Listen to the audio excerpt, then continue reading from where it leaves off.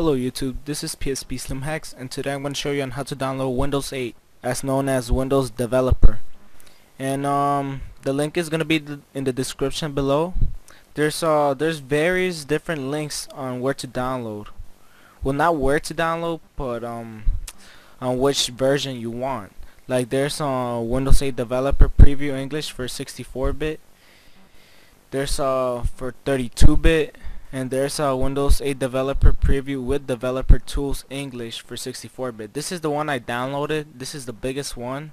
It's 4.8 gigabytes. So for this for this particular choice you're gonna need a DVD plus RDL CD and what what is DVD plus RDL well um it's like the same thing as DVD plus R but DL stands for double layer. so it's gonna hold double the memory. So instead of holding 4.7 gigabytes it's gonna hold 8.5 and since I chose this one I'm, I'm gonna need a DVD plus R DL but if you're gonna download the the bottom two then you're gonna use the normal DVDs to burn them into. And once it's finished downloading you should get an ISO file like this. And like I said you just need to burn it into a CD and that's basically it.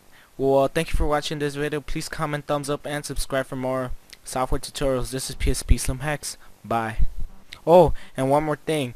If you want to see me on how to boot the CD and then install Windows 8 click right click in the middle of the screen to go to the video